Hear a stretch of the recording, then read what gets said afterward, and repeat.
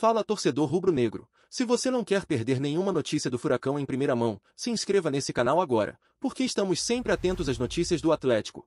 E aqui você fica sempre atualizado de tudo.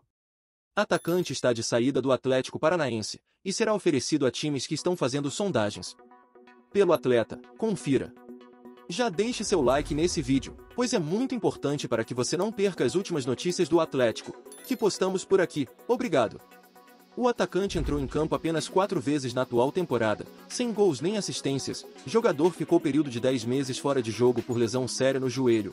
Havia rompido o ligamento cruzado anterior em julho de 2022 e voltou a ser relacionado pelo Atlético há pouco menos de dois meses, por ainda não ter completado sete jogos no Brasileirão.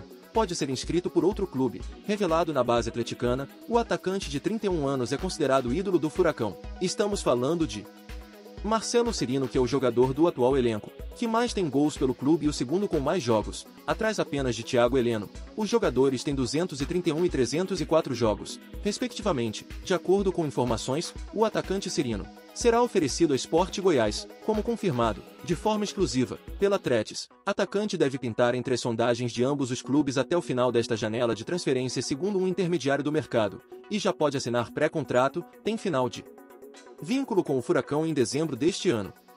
Comenta, deixa um like e se inscreva no canal, fique atento, pois te atualizo a qualquer instante com as últimas notícias do Atlético.